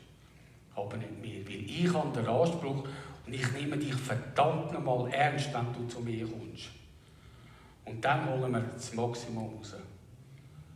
Und es ist in dem Moment, wo der Christian sehr wohl redet. Dann tut der Christian das auf. Und dann rede ich Klartext. Wenn es dann keinen Sinn macht oder ich genau weiß, die Person kann das nicht aufnehmen oder kann es nicht umsetzen oder was auch immer, aus welchem Grund, dann lasse ich es. Dann sage ich halt vielleicht am Schluss, du musst jetzt mal schauen, wie es dir geht und darfst entscheiden, ob du nochmal einen Termin willst oder nicht. Und jetzt ist ja das, das auf den Weg bringen und anstupfen. Das eine, das andere ist noch, kann man das unterstützen? Würdest du das unterstützend empfehlen? Äh, Medikamente, spezielle Getränke, spezielle Lebensweise, spezielle Ernährung? Kann, kann so etwas hilfreich sein? Das ist ganz, äh, wie soll ich sagen, es ist eine schwierige Frage, es ist ja sehr, sehr, sehr schwierig zu beantworten, weil, also erstens einmal, das Problem lösen, ja, Anführungszeichen, mit einem Medikament ist nicht die Lösung. Es ist nur ein Ausschieben von einer Tatsache. Du kannst vielleicht wieder funktionieren. Wir haben auch jetzt die Klientin geschrieben, du darf ich das und das nehmen, um mich ein bisschen aufheitern. Und dann habe ich auch sagen, liebe Frau, Du hast dich jetzt nach x, x, x Jahren von deinem Partner getrennt. Jetzt sollst du doch einfach einmal ein Zeitchen nur heulen und fluchen und machen und tun und darfst sogar Selbstmitleid haben und die ärmste Sau auf der ganzen Welt. Das gehört dazu in dem Moment. Und irgendwann kommt der Punkt und dann lachst du drüber und dann laufst du weiter. Und das ist das Allerwichtigste. Wenn ich etwas reinschoppen, schiebe ich das Ganze nur raus. Kann es nicht sein, dass man einfach den Prozess ein bisschen in, in, in, in Gang bringt mit dem? Wenn du eingedämmert bist, wenn du, wenn du benebelt bist, wie willst du dann funktionieren und wie willst du dann mutig sein und wie willst du dann den Hebel umzehren, den du dann sollst? Oder wenn, wenn du belebelt bist, nicht. Aber vielleicht, vielleicht gibt es Medikamente, die Klick machen, ich weiß es nicht. Gibt es nicht. Es hat ja viele, die Unternehmer, Studenten, die Ritalin shoppen, dass sie mehr können leisten können, dass sie fokussierter können sein hm, Ja, aber das sind genau die, die eben schlussendlich eben im Burnout landen, weil sie halt einfach über ihre Verhältnisse äh, gehen. Und ja, es mag, es mag sicher einen Sinn und einen Zweck haben, für eine bestimmte Zeit irgendwo eine kleine Krücke an der Hand zu haben, ja. Aber äh, dann muss man sich auch Gedanken machen und sagen, du, was habe ich vielleicht noch eine andere Möglichkeit? Dann gibt es vielleicht äh, Johanniskrautpastillen, die einen beruhigen, wo etwas Natürliches ist äh, und nicht vielleicht irgendwie ein Demesto, das sehr, sehr bekannt und berühmt wird, das sofort verschrieben wird, leider, wo schlichtweg süchtig macht. Das sage nicht ich, das sagen die Erfahrung, das sagen Klienten von mir, die über zehn Jahre medikamentensüchtig sind und, und, und. Äh, und das, ja, das ist, das ist nicht die Lösung. Um vielleicht ein bisschen weiter zu sein, um äh, ein bisschen Vitamine nehmen, zum gesund essen, um sich gesund ernähren, das schadet nicht. Das schadet niemandem. Du kannst nicht einmal zu viele Vitamine aufnehmen, weil äh, wenn der Körper sagt, äh, ich brauche nicht mehr als so und so viel, dann geht das andere noch raus, ein bisschen dicker oder ein bisschen dünner oder was auch immer. Dann verlässt es einfach den Körper wieder. Nützen tut es schlussendlich eh nichts. Also, ja, das ist halt genau das Gleiche, wie, wie es zeitlich ein, ein riesen Hype war, der vor ja, vier, fünf Jahren angefangen hat. Äh, Vitamin E-Mangel und, und, und. Und, und äh, immer wieder kommt es heisst Vitamin D-Mangel, Vitamin A-Mangel und weiß nicht was und B12 und alles zusammen. Ja, äh, sicher, man kann eine und probieren und ob es einem hilft und nützt, das ist okay. Und wenn ich irgendwie das Gefühl habe, so Christian, jetzt hast du vielleicht einmal ein Zeitchen ein äh, zu ungesund gelebt oder zu ungesund gegessen, dann bin ich auch der, der mal ein äh, Juice Plus nimmt oder wie das heisst. Und, äh, und das Gefühl, mal, das tut mir jetzt gut und äh, mir vielleicht auch ein das Gewissen beruhigen oder das schlechte Gewissen beruhigen und dann ist es okay. Aber äh, in so einem Fall, wenn es dir wirklich etwas hilft und, und, und einen ein bisschen weiterbringt oder vielleicht ein bisschen mehr Motivation gibt oder so, dann ist es okay. Aber es bringt nichts, wenn es nur einfach ein Aufpushen gibt, schlussendlich. Und weil der Fall nachher, der ist umso grösser. Das, und das kann es nicht sein. Ist ein Klinikaufenthalt sinnvoll? Es gibt ein paar Privatkliniken, wo ja, haben Sie vielleicht schon gesehen, Inserat machen. Wir sind Superspezialisten für das Auffangen von Burnout-Patienten. Ich meine, die, die, die äh, Burnout-Wellness-Oasen äh, sind natürlich in den letzten Jahren so stillgelegte Hotels in den Bündner Bergen und, und, und, wo wieder reanimiert worden sind als Burnout-Kliniken äh, und äh, Fassaden neu gestrichen haben und schöne Räume gemacht haben und äh, zwei, drei Zimmer eingerichtet haben für äh, Psychiater und Psychologen oder was auch immer. Nach dem Motto, wir sind da begleitet und äh, das Hallenbad wieder frisch rausgestrichen und gelättelt haben oder was auch immer. Und jetzt sind wir eine äh, Burnout-Klinik UE. Äh, das ist nicht die Lösung. Weil das Problem ist, es ist gut und recht und die machen das wirklich teilweise gut. Wie gesagt, die arbeiten viel im Hallenbad und zur Beruhigung und teilweise mit Klangschale und Meditation und alles zusammen. Nur ist das Problem genau das gleiche wie wir sind hier im Kreis Kaibene und wenn da ein Trögler äh, irgendwo in den Zug kommt oder in die Kiste kommt und er kommt wieder raus, dann geht er wieder hierher und er ist genau am gleichen Punkt, wie er war. Und genau so. Also außer er wäre nicht mehr der gleiche, oder? Ja. Im, Im besten Fall. Ja, wo einer von zehn das dann nicht mehr ist, dann ist es schön, ja. Und genau dasselbe ist es einfach, wenn du als, als Banker, wenn du als Manager oder was auch immer in so eine Klinik gehst, oder auch, weißt du, irgendwo, es, es ist haarsträubend, ich meine, wir haben ja hier am Zürichsee schöne Kliniken, wo halt länger sie weniger äh, gebraucht worden sind. Äh, geistig behinderte Leute und, und, und, und, und. Wo man jetzt einfach drauf gesetzt hat, wir haben Pferdetherapien anfangen anbieten, wir haben das anfangen anbieten, da anfangen anbieten. Und jetzt ist man einfach äh, auch unter anderem eine Burnout-Klinik. Und was dort läuft, ist nur einfach eins, du gehst rein, du wirst eingestellt, dass du deinen Alltag kannst bewältigen kannst. Und dann, was ist dann? Wenn, wenn du wieder zurückkommst, was läuft dann? Weil geändert hast du nicht, du hast es nur zurückverschoben. Ich glaube auch nicht, dass du in, in ein paar Wochen Abwesenheit vom Geschäft das geändert hast, was dich vorher dorthin gebracht hat. Es ist ein Ding der Unmöglichkeit. Du musst wirklich dort daran arbeiten, wo die Ursachen sind. Nur das alleine bringt die Lösung.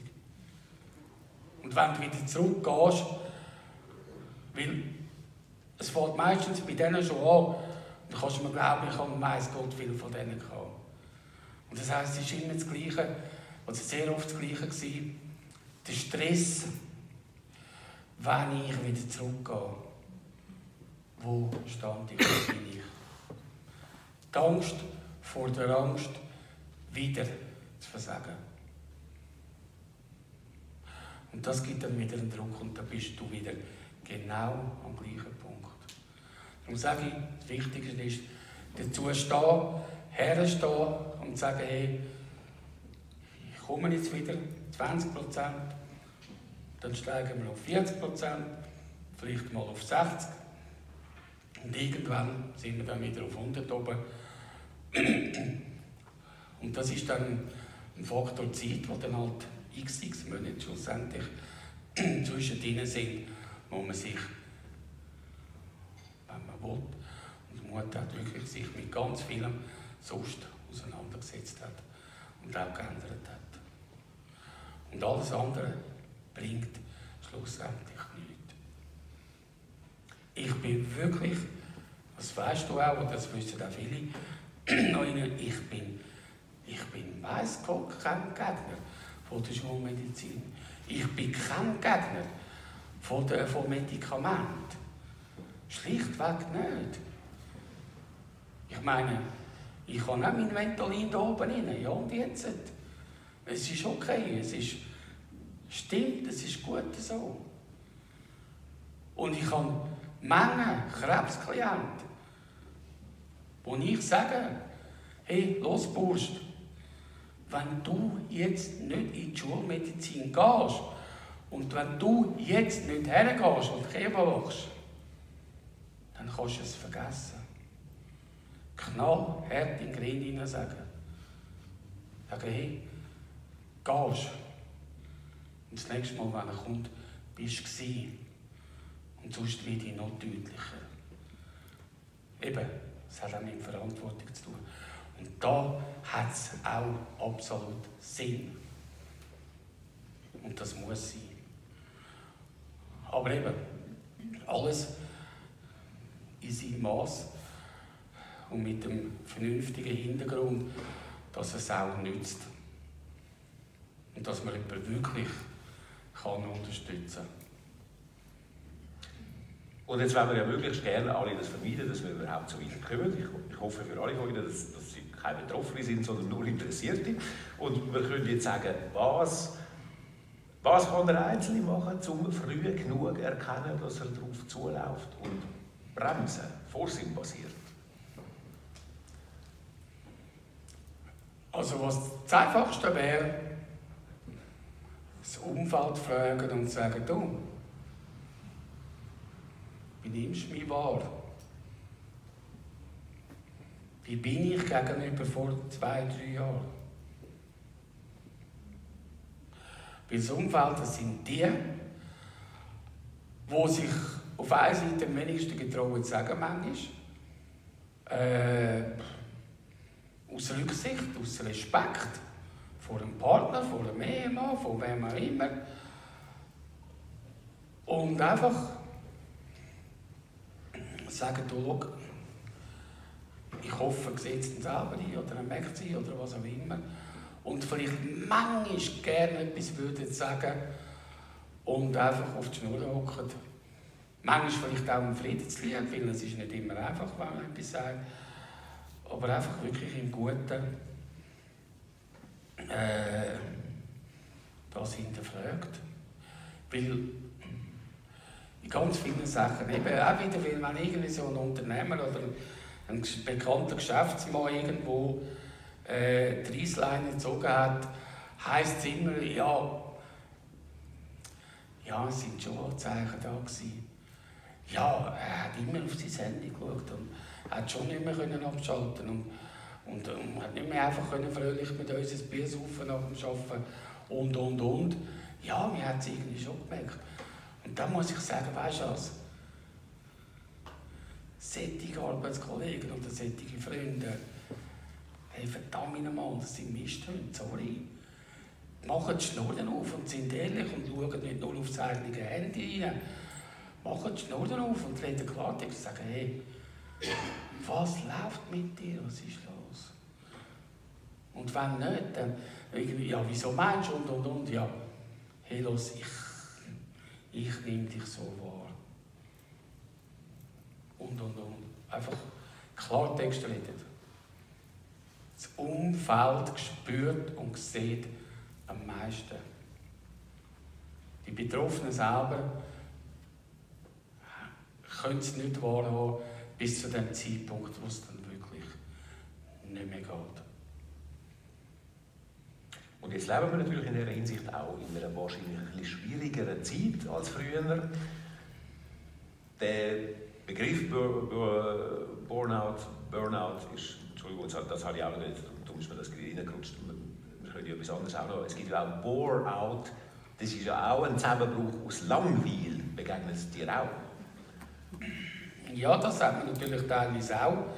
Ja, ich habe teilweise auch ältere Leute vor allem, die aus dem Grund kommen, wo eigentlich dann, aber das ist dann ein, ein anderer Weg, sie flüchten die Krankheit rein zur Beschäftigung. Also, die schießt dann eigentlich an, wenn sie wieder gesund werden, weil dann kommen sie irgendwo dann die Aufmerksamkeit nicht mehr über. Und was machen sie dann, wenn sie am Montag nicht äh, zu dem können, am Dienstag nicht zu dem, am Mittwoch nicht zu dem? Und am Donnerstag beim JAS mit den Kollegen können erzählen, ja, weißt jetzt haben wir das und das herausgefunden. Ja, und ich, ja, weißt jetzt muss ich noch zum Herrn Professor dann, dann, dann in, in drei Wochen, dann habe ich dann einen Termin und so. Ja, weißt der kommt dann eben schon raus und so und dann weiß er noch was, dass es geht und, und, und.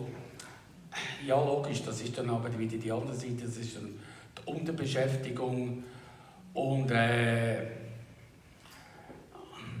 bei solchen Klienten eigentlich weniger der Fall, sondern dort ist es dann eigentlich mehr die Mühe überhaupt, eben effektiv können den Vögel anschauen. Das, was man eben dann müsste. Genau. Oder sie können sich dann einfach bei, ja, könnten vielleicht nicht mehr arbeiten.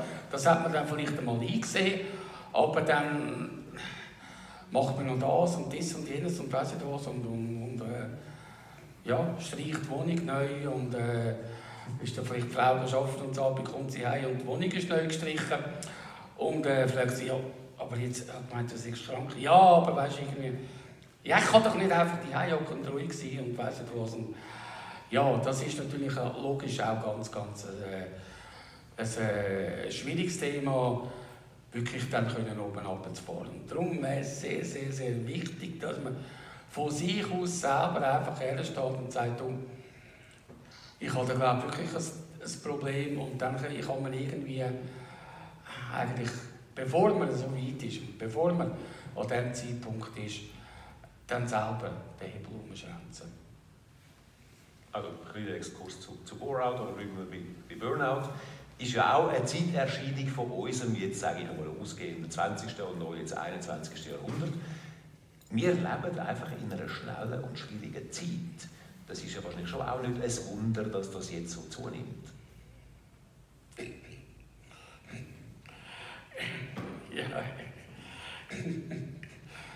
Ich muss auf einer Seite lachen, weil ich höre oft die Sprüche, äh, ja, in der heutigen Zeit ist halt einfach ein, ja, wir haben einen höheren Rhythmus angeschlagen und es wird ja länger sein, verrückter und aus dem Grund, aus dem Grund, aus dem Grund, ja, es ist halt schon verrückt und es ist nicht mehr gleich wie früher und ja, wenn man dann da nur mitmacht und so, ja, darum muss ich lachen.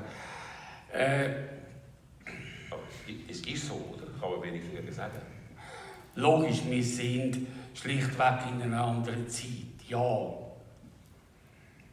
Es hat aber auch verschiedene Gründe und die Gründe sind natürlich sehr oft äh, bei diesen Leuten, die die Welt regieren, die, die, die bestimmen, die Geld investieren.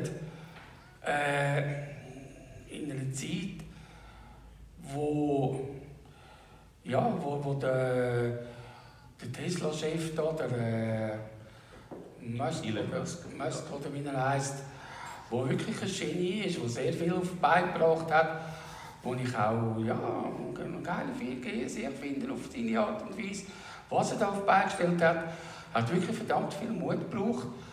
Und, äh, aber er hat können begeistern und hat Investoren in seinem Rücken, Aktionäre in seinem Rücken, die Millionen, Milliarden investiert haben. Und die wollen natürlich die Kohle wieder zurück. Die wollen, dass möglichst schnell schwarze Zahlen geschrieben werden. Das wird jetzt dann nicht bald einmal der Fall sein, dass das auch ist nach x, x Jahren. Und, äh, aber genau so ein Chef kann nicht mehr einfach sich sein und sagen, ja, ich bin halt schon ein bisschen am Anschlag also manchmal habe ich schon nur noch zwei, drei, vier Stunden geschlafen in der Nacht und äh, haben schon ein bisschen Bedenken.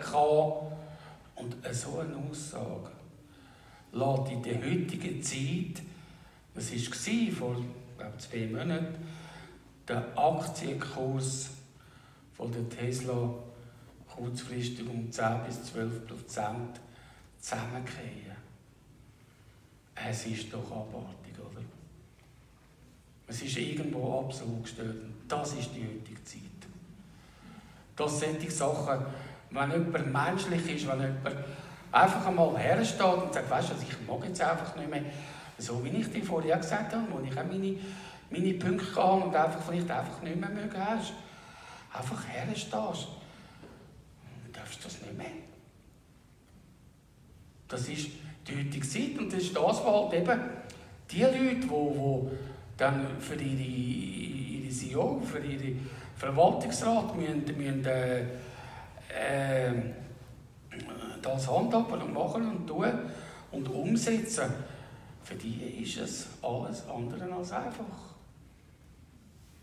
Und ich meine, wenn man ja sieht, in unserer lieben, reichen Stadt Zürich, äh, und vor allem so um, um äh, Börsenstandort herum, was für eine Dichte von Drogen das wir haben, wo man im Abwasser rein kann messen kann, man nachweisen, wie viele Drogen das konsumiert werden in dieser Stadt, ist es irgendwo schlichtweg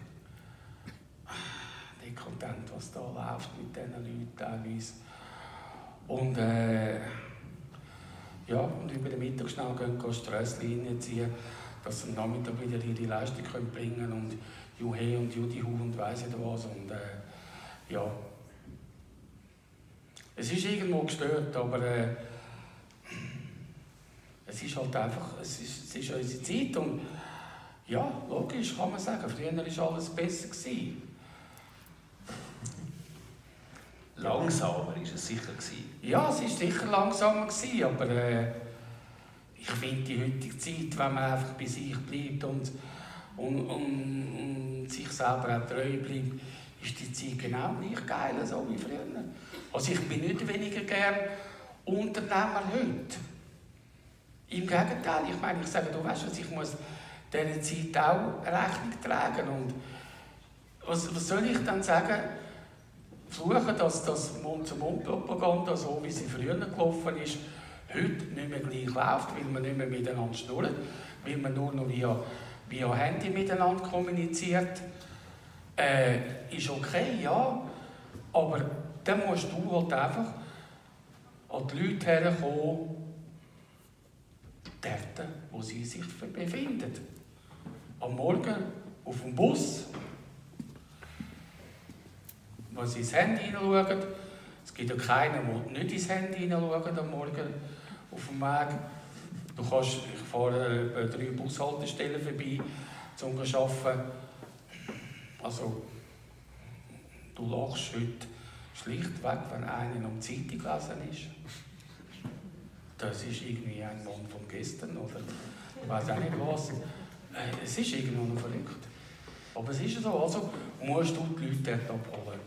Genau dasselbe, weil ich jetzt auch erkannt habe, dass länger sie mehr, ich habe länger sie mehr Klienten gehabt, eben äh, Unternehmer, Banker, Manager, die Morgen um 8 Uhr, halb 9 Uhr spätestens kommen dass sie nachher wieder arbeiten können, ohne dass irgendjemand etwas merkt. Aber dringendst nötig haben, dass man etwas macht. Und ich mir auch müssen sagen, du weißt, Christian, dann mach aus dem halt ein anderes Business zusätzlich. Ich biete heute, also es startet jetzt demnächst, eine Dienstleistung an, wo ein Manager, ein Unternehmer, wer auch immer, kann via Handy auf die Homepage gehen. Die Homepage heisst, wie der Vortrag heute Abend, Turbo im Kopf, turboimkopf.ch, wo das Thematik, die Thematik angeschnitten wird, auf den Punkt gebracht wird. Es kann jemand direkt auf dem Handy einen Termin buchen, ohne irgendein E-Mail zu machen, ohne ein Telefon zu machen. Er kann es von seinem Handy aus machen. Er kann einen Termin buchen, kann ihn nachher mit der Kreditkarte zahlen und er kann am Samstagmorgen oder am Samstagnachmittag, je nachdem man einen Termin hat, wo extra für das freigehalten wird, seinen Termin kommen, ich sage jetzt einmal, seinen Termin abholen ich äh, nehme mir dreimal mehr Zeit für diese Person. Kostet dementsprechend halt auch mehr, ist klar. Aber äh, der Nutzen dementsprechend ist ganz klar auch da für diese Person. Und ist auch dringend notwendig, weil es braucht schlichtweg einfach Zeit. Weil äh, man muss dort wirklich die Köpfe lernen, man muss wirklich die Gedanken wieder, ja, ich sage jetzt einmal, zweckbüscheln oder die negativen Gedanken, warum dass wir überhaupt dorthin gekommen sind, wieder äh, wegzubringen. Und das braucht halt einfach bei so jemandem wirklich zwei, dreimal mehr Zeit, als wenn ich sonst bei jemandem arbeite. Körperlich halt eben zusätzlich auch viel, viel größere Folgen hat und eben sich zeigt, weil die Leute sind, du musst dir vorstellen, wenn ich mit so jemandem arbeite, ist also, wenn ich mit denen arbeiten und Hände auf den Körper legen, das ist schlichtweg wie ein Wespennest. Das vibriert alles nur noch. Das ist alles, was nur noch einfach ist wie ein Summen. Wie in einem Bienenhaus Und über den ganzen Körper von zuunterst bis zuoberst. Und das hat damit zu tun, dass das Lymphsystem und das Nervensystem völlig überfordert ist. Und durch das fließt nicht mehr. Und durch, durch, äh, durch die Ängste und die Panik und und und, die man hat und durch die Depression, werden die ganze Muskulatur im Kopf, das ganze Hirn, die ganze Hirnmuskulatur, werden wie zusammengezogen, werden verkrampft. Das schwingt nicht mehr, aber gar nicht mehr. Und durch die, die Verkrampfungen und alles zusammen fließt das Ganze nicht mehr. Wir haben im, wir haben im Hirn im Tag tun sie, in den leeren vom Hirn bis zu einem halben Liter Hirnflüssigkeit entwickeln. Im Tag. Und wenn die Hirnflüssigkeit nicht mehr ablaufen kann und die läuft zu 60, 70 Prozent über das Lymphsystem ab, wenn das ganze System nicht mehr funktioniert, kann das nicht ablaufen. Und dann hast du eben so einen Kopf. Und wenn das Nervensystem entzündet ist und kribbelig ist, wie der ganze Körper kribbelig ist, eben das wie wenn du in einem Waschbinest rein wärst, dann hat eigentlich auch das, äh, das Lymphsystem die Aufgabe, das Nervensystem auch zu kühlen und zu durchfluten. Darum ist es auch extrem wichtig, dass wir genug trinken. Also das allererste, was du überhaupt kannst machen wenn du in dieser Situation bist, ist einfach drei, vier Liter Wasser trinken im Tag. Das Lymphsystem muss wieder aktiviert werden. Und die ganzen Verspannungen und die ganzen Verkrampfungen müssen gelöst werden. Und das ist das, was bei, bei solchen Leuten sehr, sehr, sehr viel Zeit braucht. Also ich arbeite bei denen ähnlich, wie wenn ich mit sonst mit jemandem arbeite, auch ganz klar über die ganze Wirbelsäule, aber auf dem Kopf alleine, wo ich sicher zwei bis dreimal so lang nur alleine im Kopf arbeite, wieder bei sonst jemandem. Das ist auch der riesengroße Unterschied. Das ist das, was Zeit braucht. Und darum auch die Dienstleistung für die Leute, die ja, Nachfrage wird da sein. Und äh, eben, wie gesagt, da muss ich nicht sagen, die heutige Zeit ist schnelllebiger und alles andere. Ja, musst du halt auch anpassen. Wir müssen die Straßen, wir müssen Parkplätze und alles auch anpassen. Wenn die Autos länger sie grösser werden und länger sie mit SUV, SUV auf der Straße rumfahren, wie, wie vorher, dann, dann, dann müssen wir uns auch anpassen. Und so genau ist es halt ja, im Business auch, oder? Und sonst bist du halt auch, bist auch weg vom Fenster, oder? Ja, gut, dann haben wir alle noch etwas vor. Ähm, ich habe eine Liste mit Stichwörtern, wo ich jetzt bei meinem Restaurant bin. Ich habe gefragt, was ich fragen wollte. Ähm, willst du noch etwas sagen, was wir noch nicht gesagt haben? Was ganz wichtig ist in dem Ganzen, kein Mensch und kein Betroffener ist gleich wie der andere. Was die ganze Geschichte natürlich noch komplizierter macht. Das ist so. Und das ist auch so, dass eigentlich, ja, ich sage jetzt auch die Schulmedizin diesbezüglich, eigentlich nur eine Lösung hat und das ist Medikamentierung. Jemanden einstellen, ruhig stellen. Und alles andere, das ist, für das gibt es keine Lösung, weil, weil die Schulmedizin hat nur Lösungen für eine Allgemeinheit. Bei Verkältung nimmst du das, dann nimmst du das, dann nimmst du das und dann nimmst du das. Und in einem Burnout gibt es kein einheitliches Rezept. Weil das, was ich am Anfang gesagt habe, die Ursache, die hinter dem Ganzen steckt, die ist bei keinem gleich. Die ist wirklich bei keinem gleich. Wenn du tausend Klienten hast mit einem Burnout, hast tausend verschiedene Möglichkeiten, warum er in seinem Leben genau so funktioniert hat. Und das ist das, was du sagst, ja, das ist das, was sehr, sehr, sehr schwierig. Es gibt Ansätze dazu, wo auch die Schulmedizin auch gemerkt hat, wie das, was ich gesagt habe, mit dem Lymphsystem, unser Lymphsystem hat man früher nur angeschaut als Güsselkübel vom Körper. Und welche Formel will dann schon für, ein, für eine Entsorgungsstelle forschen und entwickeln? Und das ist jahrzehntelang ignoriert worden.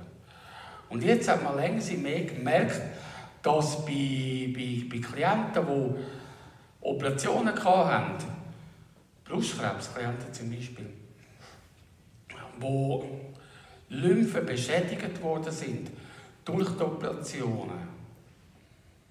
Wir haben im Körper 600 bis 800 Lymphpositionen und Lymphknoten. 600 bis 800 Stück im Körper. Und wenn eins von denen nicht mehr richtig schafft, dann ist die Überlastung von den anderen Wegen, vom Lymphsystem, ganz klar da. Und dann fließt es nicht mehr richtig.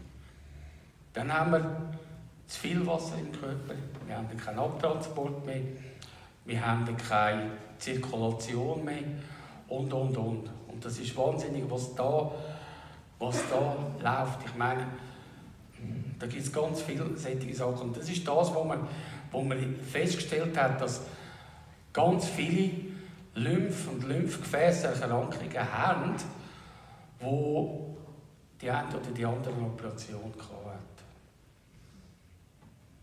Und das ist das, wo man jetzt dran ist und sehr stark hier in, in Zürich auch, an der Universität, sehr stark wieder am Forschen ist, wie können wir das Lymphsystem wieder reparieren. Weil das Problem ist eben auch, das ist nicht gleich wie beim Blutkreislauf, dort haben wir einen Zugang und einen Abgang. Und beim Lymphsystem ist das nicht so, sondern dort ist es alles nur einseitig. Es kommt, es läuft durch den Körper und es tut über die Drüsen, über die Haut, über alles zusammen ausscheiden. Es ist alles nur einseitig. Und wenn da eben ein Weg nicht mehr stimmt, dann haben wir doppelt so größere Stau schlussendlich im Körper.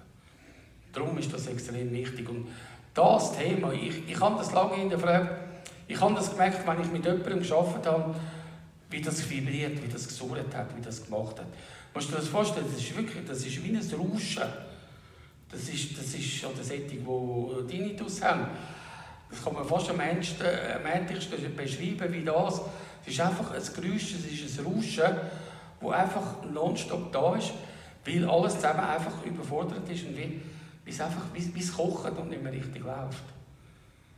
Und ich habe dann gedacht, und irgendwann habe ich dann auch Antwort bekommen und dann gemerkt, ich habe dann auch irgendwie automatisch äh, vielleicht mal den einen oder anderen gesagt, du, geh mit Lymphdrainage, mach das und das.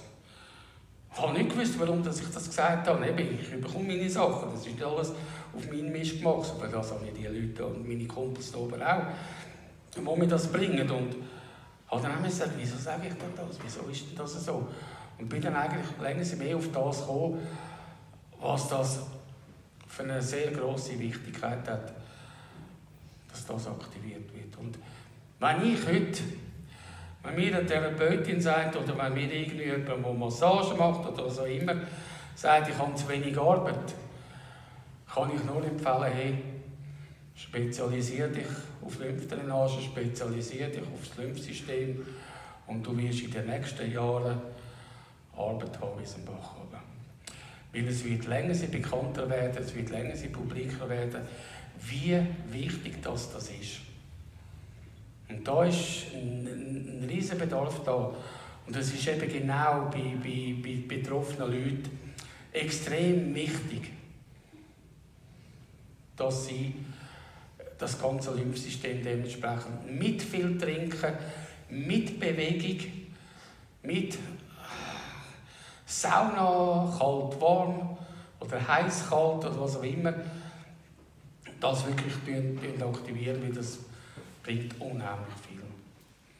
Das ist ganz enorm wichtig. Das ist auch etwas, wo wirklich jemand von sich aus persönlich äh, dazu kann beitragen kann. Ja, äh, wir sind immer wieder da und sind auch bereit zum, oder ich bin bereit zum Fragen beantworten. Jetzt ist äh, Hat irgendjemand von euch eine Frage zu dem Ganzen? Was möchte ihr wissen? Äh, was interessiert ihn in dem ganzen Zusammenhang? Möchte irgendwie jemand etwas wissen? Oder fragen, ungeniert?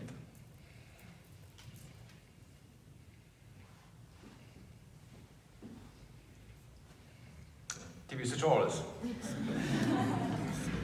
Aber jetzt können wir ja vielleicht sagen, wir haben jetzt ja ganz viel erzählt und sind zum Teil ein bisschen in Detail gegangen und zum Teil ein bisschen weniger. Ähm, ihr habt hoffentlich einfach einen, einigermaßen jetzt einen guten Abriss zum Thema und zu der Haltung von Christian Frautsch bekommen.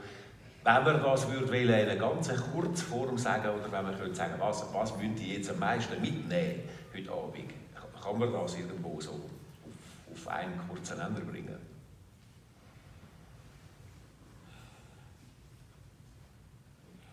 In den Spiegel schauen und ehrlich sein mit sich. Als, als erstes. Und als zweites, vom Spiegel weglaufen und den Mut haben, die Frau oder der Mann, vielleicht sogar Kind, fragen, was hast du das Gefühl,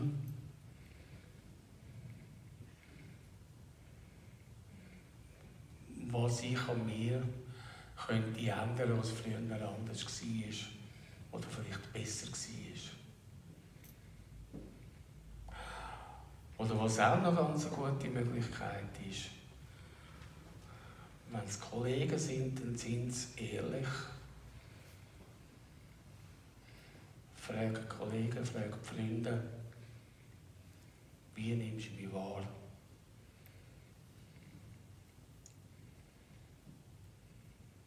Gut. Das ist das, was wichtig ist. Und es ist auch an dieser Stelle von solchen Leuten, die in ihrer Umgebung jemanden haben, der betroffen ist. Hey, sind mutig und gehen auf die Person zu.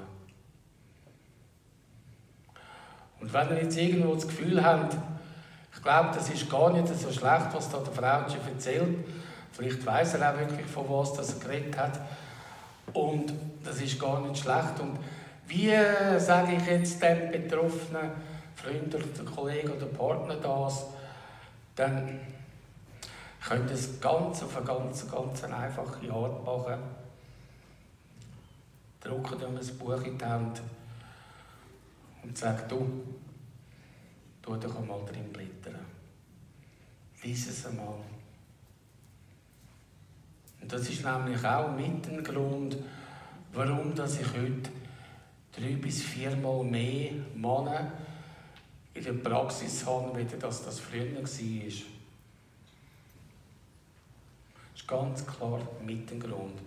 Mit dem Grund ist auch, dass ich aus Gutwill, aus, wie soll ich sagen, auch aus, aus dem Sinn heraus, zu jedem Buch das Hörbuch produzieren und das heute kostenlos mitgeben. Zu jedem Buch, du kannst, heute sind wir ja so weit, du kannst den Code eingeben, der im Buch drin ist, du kannst das Hörbuch kostenlos abladen und kannst es hören. Der Mann kann es auf sein iPhone laden und kann es auf dem Arbeitsweg hören. Und das ist mit dem Grund, warum das die Mannenwelt offener geworden ist gegenüber einem so ominösen Therapeut, wo man nicht genau weiß, was er macht. Und weil er redet ja nicht und der Doktor ist er auch nicht wo ja vielleicht von dem her auch äh, überzeugt. Und ich denke, das ist von dem her wirklich eine ganz gute Sache. Und äh, ihr wisst ja vielleicht, dass der Marco ja nicht einfach umsonst da sitzt und mich auch hinterfragt. Und, äh, weil der Marco ist der Sprecher von meinen Hörbüchern von Anfang an. Weil er einfach, wenn er das Buch liest, er ist mich und er kann das äh, so gut völlig neutral überbringen mit einer fantastischen, angenehmen Stimme, äh, wo man einfach gerne zulässt und äh, ja, wo ganz, ganz ein wichtiger Faktor ist. Und dass auch heute länger mehr Männer vielleicht auch in die Praxis hineinkommen, ist vielleicht, weil heute die Praxis äh, so aussieht, als wäre es deine eigene Stube. Hell. Fantastische, feine, klassische Musik im Hintergrund, die läuft mit einer, auf einer Röhrenverstärkeranlage. Also besser als die Anlage, die ich die habe. Weil ich einfach sage, da arbeite ich, da bin ich. Und als größter gewährt an das, was ich darf sein darf, hier innen auch zu machen. Und dass den Leuten wirklich auch wohl ist hier innen und auch stimmig ist und auch passt. Und ich glaube, die Zeiten, eben wie man sagt, früher war alles besser, gewesen, dass ein Heiler im stillen Kämmerchen irgendwo Bastelraum, in einem Hobbyraum schafft, dass ja niemand gross merkt, wer da tätig ist und was er macht. Die Zeiten sind, glaube ich, wirklich vorbei. Und wenn man das mit Lieb und Seele macht und mit Freude macht, dann darf man das auch zeigen und mit dem Business auch so ja, auch erfolgreich sein. Ja, gut, in dem Sinn möchte ich mich äh, bei all ganz herzlich bedanken, dass ihr alle gekommen sind.